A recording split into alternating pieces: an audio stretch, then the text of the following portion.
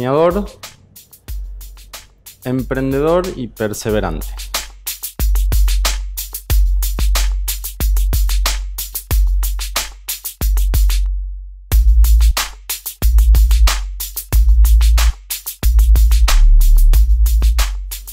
Bueno, estamos con Rubén Salim, emprendedor, en esta nueva entrevista de La Otra Pregunta. ¿Cómo estás, Rubén? ¿Qué tal? Muy bien, muchas gracias por la invitación. ¿Cómo te definirías? Nosotros te definimos como emprendedor, pero vos qué diría de, dirías de vos? Sí, creo que esa es la palabra que, que me parece con la cual me identifico para muchas cosas, digamos, no solo en el, en el ámbito de, de los negocios, digamos. Me, considero un emprendedor en, en todo, digamos. ¿Qué es ser un emprendedor?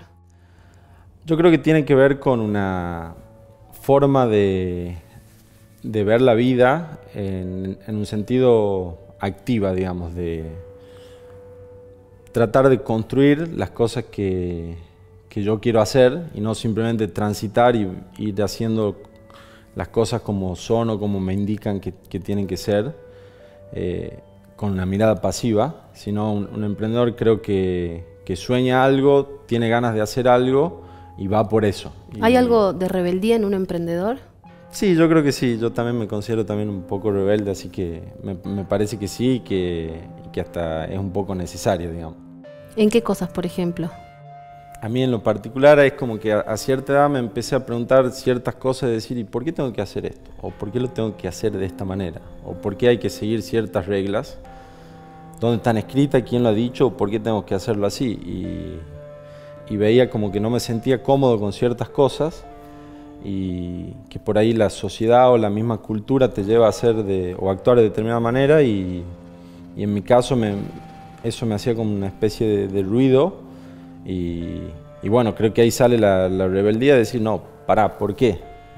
¿Por, qué estoy haciendo lo que hago? ¿Por qué lo tengo que hacer de tal o cual forma? A ver, uno se imagina que un emprendedor es, alguien que, obviamente, como yo te, planteaba, eh, está en constante movimiento, ¿no? Y, esto de lo que vos hablás de, de, que no estás conforme con las cosas que están preestablecidas, un trabajo en relación de dependencia, por ejemplo.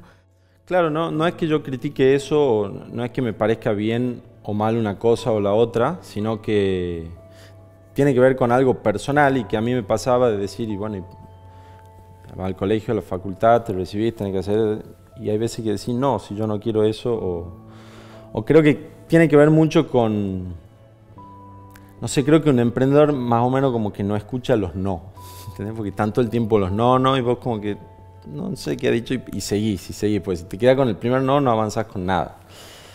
Eh, y no sé, me acuerdo como de, chico con esto que vos me preguntaba, a mí me encantan los autos, los autos de carrera. Y me acuerdo que tenía 15 años por ahí y voy a plantear en mi casa que quería correr en auto. Y no, no, no, de mi mamá, no de mi papá, no de todos, era, en ese momento no se podía. Y creo que ahí ha sido una de las primeras cosas como que he dicho, no, yo quiero esto, a mí me encanta esto. Y con todos los no, igual he, comenzado y de alguna forma después se terminó dando, pero creo que ha tenido que ver con esa insistencia mía, digamos, de, no escucharlos no, entre comillas. Y, en la vida del emprendedor por lo general también hay muchos no, ¿no? Eh, se habla de, esta cuestión de los fracasos como un valor para, para seguir adelante. ¿Cómo ves eso? Bueno, eso es todo un eso tema. suma porque hay como toda una filosofía a la vuelta de eso. Claro. Eh, eso ha sido para mí todo un tema que ahora lo estoy viendo de otra manera, eh, ha sido un tema muy importante en el sentido de qué consideramos nosotros fracaso. Y si bien todos te hablan eh, de que bueno, el fracaso eh, es parte, como que no es lo opuesto al éxito, sino es parte para llegar a eso. Pero una cosa es decirlo y otra es vivirlo. Y, la verdad que eso a mí, por ejemplo, en, en emprendimientos anteriores que hice con mucha ilusión, eh, habíamos armado una empresa en España que operaba. Eso me gustaría que me contes antes que sigamos hablando, ¿no? Eh, ¿Cuáles fueron tus desarrollos como, como, como, emprendedor, ¿no? ¿Y cuál es el último? Ah, ok. Bueno, eh, primero hicimos en. Creo que era 2010 aproximadamente, cuando recién salían los teléfonos inteligentes, me acuerdo que había salido el, iPhone en 2007 y comenzaba todo esto de las aplicaciones. Yo había visto eso y como que digo, bueno, yo quiero hacer eso. Entonces eh, tenía dos trabajos acá en Tucumán, muy buenos, y digo, no, pero yo no estaba cómodo ahí. Es como que ahora viéndolo para atrás, como que nunca estuve cómodo en ningún trabajo y no era problema del trabajo, era simplemente que no es lo que a mí me gusta. Eh, entonces había visto eso y digo, bueno, es como que veía toda esta explosión que estaba pasando con Internet, con el tema de los dispositivos móviles y las aplicaciones, que era algo muy novedoso en ese momento. Decir, vos antes tener un teléfono y ¿qué tenía el teléfono? Lo que te daba el fabricante. Y ahora eso se rompía. Ahora vos el teléfono lo podías tener de la manera personalizada que vos quieras con la aplicación. Entonces, bueno, conocí un grupo de, de, ingenieros y un diseñador de acá de Tucumán, nos asociamos y decimos, bueno, hagamos aplicaciones. Por donde empezamos y terminamos haciendo una de turismo, que la hicimos para acá, para fue la primera aplicación eh, oficial del gobierno de Tucumán, que era la aplicación del ente Tucumán Turismo. Eh, y bueno, fue la verdad que un, proceso muy bueno. Eh, después hicimos de Punta del Este y era como muy novedoso en ese momento hacer aplicación y con todo un equipo de acá y fue como eh, eso nos llevó a, conocer un montón de gente y fue como un, primer paso en empezar a ver y a soñar en grande que de Tucumán se pueden hacer cosas escalables y no solo pensando para Tucumán, sino para, para otros lugares. Después de eso, me empecé a interesar en, todo lo que fue el tema de e-commerce y eh, armamos una empresa que se llamó Mascota Nube, donde básicamente los dueños de mascotas podían comprar todos los alimentos y, todos los accesorios para la mascota y la idea era automatizar todo eso y que vos puedas como setear cada X tiempo que te llegue automáticamente y bueno. Y lo hicimos en España, yo me estuve viviendo un tiempo en España y bueno, operamos ahí, la, la, logística funciona muy bien, en 24 horas cualquier pedido puede llegar a cualquier punto de España o de Portugal y entonces tuvimos eso. Y bueno, lo pudimos armar me acuerdo que ahí renuncié a, los trabajos que tenía y me fui a solo a España. ¿Cómo fue esa decisión de dejar todo? Te podría decir que ha sido difícil, pero en realidad no, porque yo no quería estar haciendo lo que hacía. Por más que todos me decían, pero ese trabajo es para toda la vida. Y digo, está perfecto, pero a mí no me gusta. Yo iba todos los días enojado y mal, digamos, no, no estaba dando mi 100%. Entonces, la verdad que desde ese lugar, obviamente, claro, no, no ha sido de ese lugar no ha sido fácil. Sí, obviamente la incertidumbre, la incertidumbre económica y todo. Eh, me parece que por ahí lo que vengo aprendiendo en este tiempo es, una cosa es ser arriesgado y otra es ser un suicida. ¿Cuál es la diferencia ahí? Y bueno, no sé, volviendo al ejemplo de los autos. Una cosa es correr en auto, es, es algo arriesgado, pero ahora si corren en auto sin cinturón, sin casco, sin, bueno, ya son suicidas. Exacto. Entonces, en los emprendimientos lo mismo, hay un grado de riesgo controlable que hay que asumir, pero después también hay que ver y planificar, porque las cosas pueden salir bien o mal. Y por ahí el emprendedor es muy optimista, y bueno, hay veces que las cosas no pueden salir como te las imaginas, y después eso trae un montón de consecuencias económica, de salud, de estrés, de un montón de cosas. Eh, y volviendo a eso que vos me preguntabas del fracaso y todo eso, bueno, con ese emprendimiento hicimos un montón de cosas, eh, una empresa afuera, yo me fui a vivir, levantamos inversión, fuimos seleccionados por eh, aceleradoras, después participamos de un programa que se llama Startup Chile, que selecciona startups de todo el mundo y fue una experiencia muy buena, pero en ese momento, bueno, me pasó algo como que se sumó todo. Yo me estaba por casar y estaba cerrando. entonces era un estrés muy grande. Me imagino. Y, y, la verdad que la pasé muy mal. Es como que se había muerto alguien. ¿entendés? Había sido como muy difícil para mí.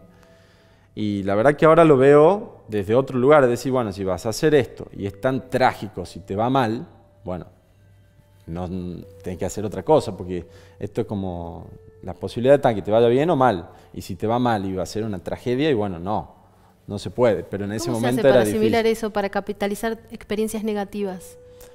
Hablando específicamente de esto de un negocio, vos puedes cerrar y pagar todo y hacerlo ordenadamente y ver que, bueno, los números no daban, no, no tenían una ventaja competitiva frente a, lo que había en el mercado, Y yo personalmente veía que si seguía levantando inversión o invirtiendo mi tiempo en eso, podía durar un tiempo más, pero era ya sabía que no iba a funcionar. No, según el análisis que yo había hecho, no, no.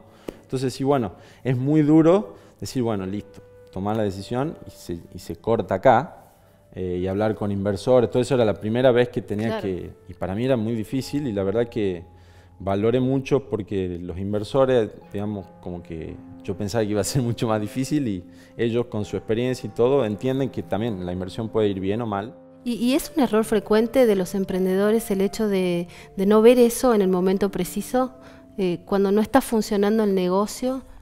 Yo personalmente trato de no engañarme. Cuando siento que algo ya no va, no va. ¿Sería un consejo, por ejemplo? Y sí, hay algo en, en esto, hay como una mezcla de la de la panza, por llamarlo de alguna manera, si vos estás sintiendo en ese instinto y también números.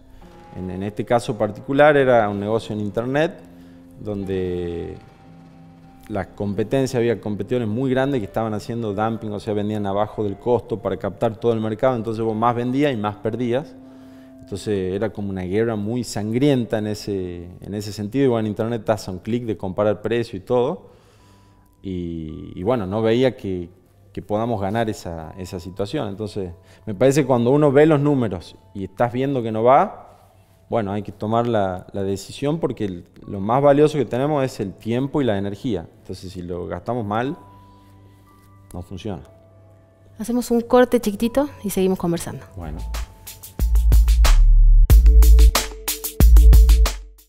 Para los socios de Club La Gaceta, la felicidad tiene forma de ahorro. ¿Disfrutan así? porque ahorran así. Se lucen así porque ahorran así. Se divierten así porque ahorran así. Salen con amigos así porque ahorran así. Se entretienen así porque ahorran así. Asociate a Club La Gaceta y feliz ahorro.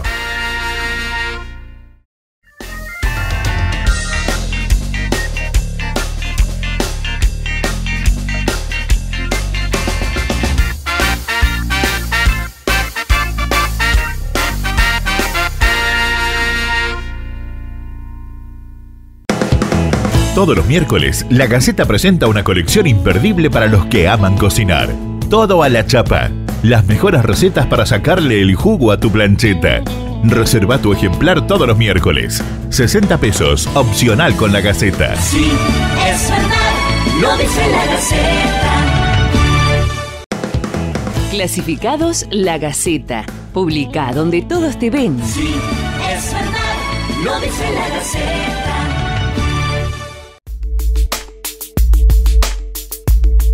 Bueno, Rubén, ¿se cierran puertas? Pero se abren otras, ¿no? Así es. Bueno, eh, como te contaba recién, en base al proyecto eso de España, que no, no, salió como esperábamos, yo me vuelvo a Argentina y en ese momento me llama eh, Facundo Garbetón, que es un emprendedor que yo lo conozco hace bastante y siempre nos ha ayudado, que conocía de un proyecto científico de acá de Tucumán, que estaban desarrollando una solución para curar heridas crónicas pero que el equipo era, eh, estaba conformado 100% por personas con un perfil científico. Claro, investigadores Exactamente. Entonces que eh, lo que él le había recomendado era sumar a alguien con un perfil más comercial, alguien más emprendedor que complemente todo eso. Eh, así que bueno, me, llamó y me presentó a, Alberto Ramos y a parte del equipo y bueno, eso fue hace más o menos tres años. Así nace un TEC. Claro, y así nace un TEC. Ahí nos presentó, mm, me comenta mi, mi socio de lo que estaban haciendo. Este, me pareció espectacular, pero digo, bueno, al principio no es algo relacionado a medicina y no tenía experiencia, entonces digo, bueno, yo no sé si voy a poder ayudar acá en este proyecto, entonces hagamos una prueba, veamos si trabajamos bien en conjunto, pues no nos conocíamos con él. Eh, y bueno, así que comenzamos y bueno, por suerte hemos venido trabajando muy bien en conjunto con él y con todo el equipo y, y ¿De qué se trata el proyecto. desarrollo? ¿Qué es un TEC? Un TEC es una empresa de base tecnológica cuyo propósito es curar a la mayor cantidad de personas en todo el mundo que sufren de heridas crónicas a través de un desarrollo basado en, bio- en biotecnología, hecho 100% acá en Tucumán por científicos de acá. Heridas crónicas, úlceras, la gente Claro, que tiene pie diabético. Estamos Las hablando de heridas eso. crónicas son un tipo especial de heridas eh, que se tipifican así cuando demoran más de seis semanas en cicatrizar. Hay algunas que demoran años y otras que no cicatrizan nunca. Y seguramente, han- como vos decías, de la gente que tiene úlcera de pie diabético, úlceras venosas, y que en casos más graves terminan amputando eh, donde tienen la zona afectada. Así que es un problema muy grave que afecta más casi el 2% de, de la población mundial y lo que hoy existe en el mundo son paliativos, o sea, vendajes de distintas formas que ayudan a, a mantener la herida pero no son prosicatrizantes. Y lo que desarrolló este investigador y este equipo de investigadores es algo que lo puede curar. Exacto, es un, es un desarrollo que tiene todas las propiedades terapéuticas que indican los especialistas para curar este tipo de heridas y lo tienen en un solo producto, lo cual lo convierte en una solución única y, y superior a todo lo que existe en el mercado. Pero bueno, eso es un, un desarrollo que hoy está en una fase científica.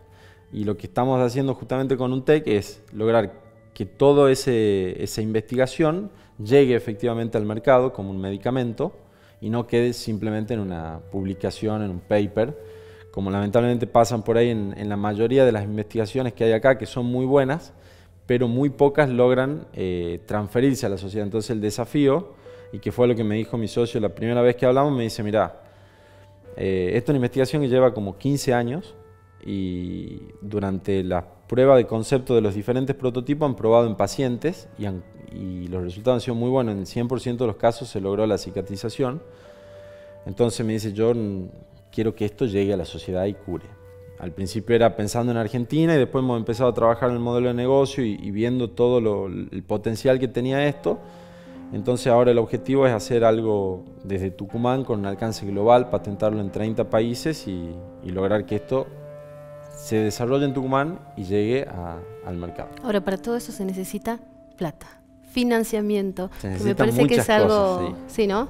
Sí, eh, Conseguirlo es complicado. Exactamente. Esto es, digamos, una parte de toda esta investigación. Se ha logrado en base al, al aporte muy valioso del Estado a través de CONICET y de, de todos los subsidios.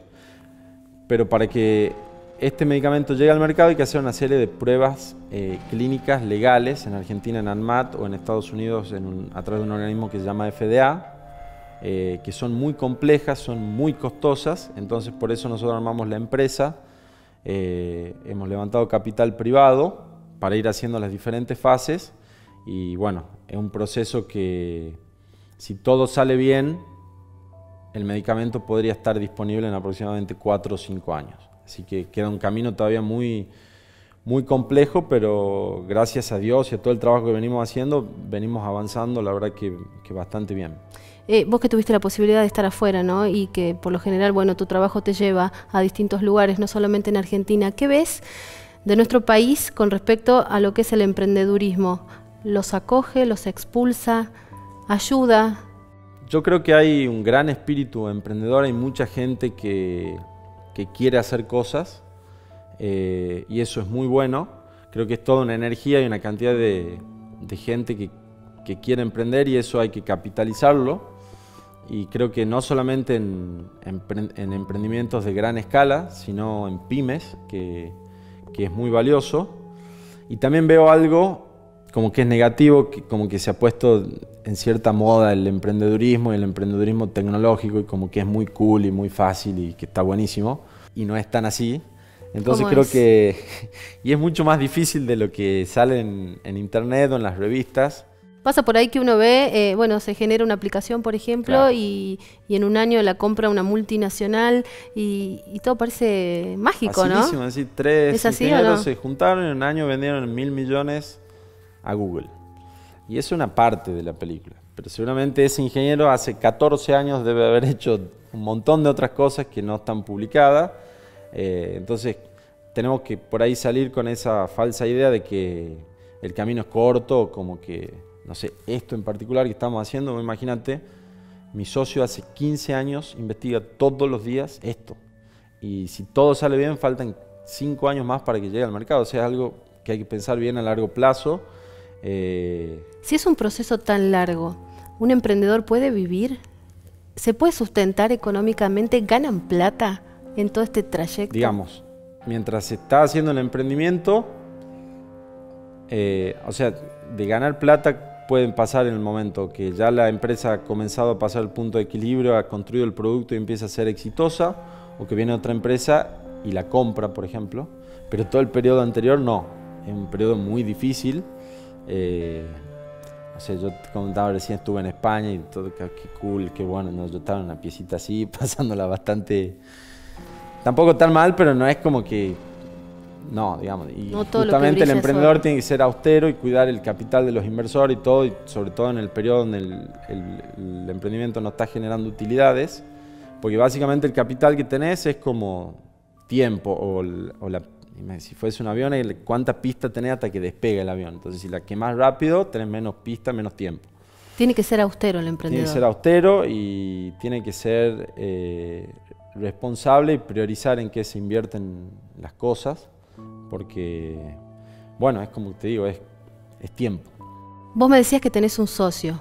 Si tenés que recomendar, ¿solo o en sociedad? No, 100% un socio y creo que hay, en este caso, con mi socio ha sido una de las principales fortalezas en, este emprendimiento porque en, en, este tiempo, digamos, hemos pasado momentos muy difíciles y creo que siempre hay algo que es fundamental. Primero, que los socios tengan el mismo hambre en el sentido de cuánto están dispuestos a luchar por eso. Y creo que ahí está fundamentalmente el propósito, es decir, ¿por qué estamos? O sea, ¿y por qué estamos haciendo esto? Si yo podría estar haciendo otra cosa. ¿Qué es lo que te motiva a hacer eso? En este caso, en este emprendimiento, mi socio nunca me habló de plata ni de nada. Me dice, yo descubrí esto, veo que cura, quiero que llegue al mercado. ¿entendés? Y, y todos estamos alineados atrás de eso, es decir, este descubrimiento tiene que llegar al mercado y curar personas. Obviamente si eso pasa va a ser un negocio muy rentable, que va a tener un, un impacto muy grande, pero entonces lo primero es esas ganas de hacerlo, después ser complementario y compartir los mismos valores. Y como esto te decía, tiene esos vaivenes emocionales, si estás solo es mucho más difícil, digamos, si tenés un socio, cuando uno está caído el otro lo apoya. Y Entre los dos, ¿cómo te llevas con el estrés y con las presiones? Y bueno, es muy difícil, eh, un poco hablábamos de eso recién, en el sentido de que es muy difícil desconectar o cortar, es como que esto estás desayunando y estás pensando, estás bañando y estás pensando, estás supuestamente de vacaciones y, y yo lo que veo es que quizá antes era como pensaba que había que trabajar un millón de horas y como que ese era el camino y lo hice y terminé destrozado. Y esto al ser un camino tan largo hay que buscar un equilibrio en el sentido de que sí hay momentos que hay que trabajar muchísimo porque hay vencimientos o entrega de algo, pero que si no eso no está equilibrado con alimentarse bien, con hacer deporte eh, y con buscar ese equilibrio, esto es una, no sé quién había escuchado, no es una carrera de 100 metros, es una maratón. ¿Quiénes acompañan a los emprendedores? A ver, hablemos de tus amigos, de tu familia. ¿Te entienden? Mm, poco. Familiar obviamente siempre hay los que sí te apoyan. Eh, y después hay un montón de organizaciones que, está bueno destacarlas, que están ayudando activamente a esto. Nosotros hemos tenido la suerte de, participar, eh, por ejemplo, de una competencia que se llama Naves en el IAE. Que es una de las más importantes acá, ¿no? Y hemos tenido, con nuestro proyecto, ha sido el primer proyecto de base científica que ha ganado Naves. Y eso más allá del premio o del ego de ganar el premio, eso te abre un montón de puertas. Eh, entonces, quizá una recomendación que está buena de emprendedores es participar de eso, no con el objetivo de ganar y, decir, mira qué lindo ganado, porque ganar o perder no, no cambia la esencia del proyecto, sino los contactos y sobre todo nosotros que estamos en Tucumán, eso te puede hacer conocer mucha gente. Después hay otra fundación que nos ha, nos ha ayudado mucho que se llama Endeavor, ¿Los tucumanos tienen alguna característica como emprendedores para vos? ¿Que tuviste la posibilidad de conocer a varios? Creo que sí, por ahí no tenemos, somos sinvergüenza en el buen sentido, ¿entendés? Que está, si te pasa estar en otro lugar en Tucumán y que ha ido y se ha hablado con él sin pedir permiso o algo. Arriesgado. Eso está bueno, sí, está bueno. Y creo que vos que me decías, o cómo deberían ser, no sé, creo que no hay una receta, pero me parece fundamental es que antes de emprender se pregunten por qué o para qué eh, quiero emprender. Y me parece que esa es la pregunta más importante. Porque si eso no es por algo realmente valioso, en los momentos malos que sí o sí van a venir, lo más probable es que si eso no era muy fuerte, vos termines abandonando eso. Entonces, si vos lo estás haciendo por algo que realmente es valioso, vas a perseverar y le vas a poner el esfuerzo para poder pasar esos momentos. La última, ¿qué serías si no fueses emprendedor? Yo soy licenciado en Administración de Empresas y había pensado antes de estudiar eso, arquitectura, es como me gusta esa parte, pero quizás hubiese sido un arquitecto emprendedor, así que me parece que no me que es una palabra que me, me, gusta en ese sentido de decir voy a buscar activamente lo que quiero y creo que eso está bueno, eso está relacionado con la libertad, eh, con poder elegir y eso a mí me encanta, así que me parece que me defino así. Me gustaría destacar todo el trabajo que, que están haciendo los científicos y el, equipo de Alberto Ramos, sí que es mi socio, de eh, Nicolás Cerúsico, de Romina y de María de los Ángeles, que la verdad es, yo estoy maravillado, hemos podido comprobar, hemos tenido, como te comentaba, hemos ganado una beca para estar en, en Singularity University, una universidad de la NASA, y poder comprobar que desarrollos hechos acá en Tucumán están a un nivel global, entonces la verdad que quiero valorar todo ese trabajo y, y destacarlo porque realmente es muy importante. Gracias. Gracias. Un placer.